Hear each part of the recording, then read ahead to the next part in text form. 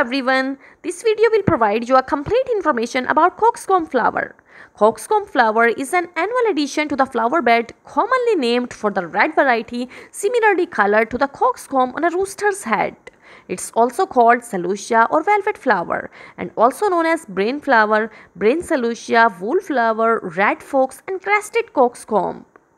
Coxcomb, traditionally grown in the red variety, also blooms in yellow, pink, orange and white.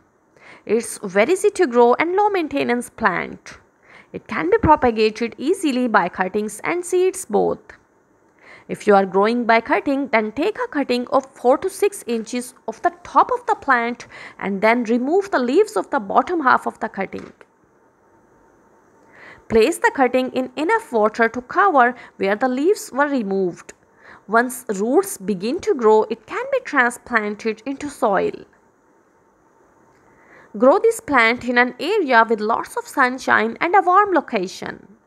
They require 8 to 10 hours of direct sunlight. Water your celosia or coxcomb plant when the top layer of the soil feels dry to touch.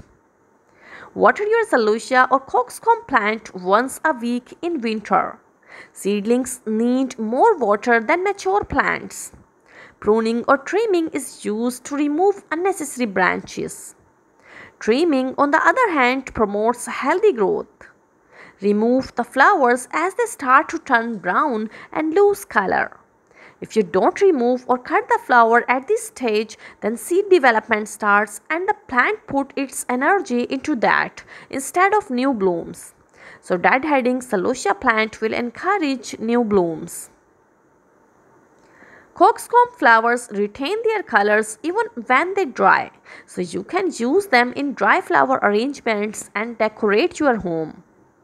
This versatile flower can be grown in garden beds, borders and containers also.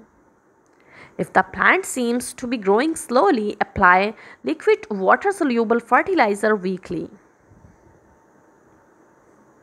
Silver coxcomb is found in India, Nepal, Bhutan, China, Japan and Korea.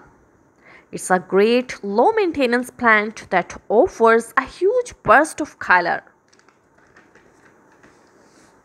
Its stem, leaves and flowers are used for stews and soups and also used for garnishing in salads.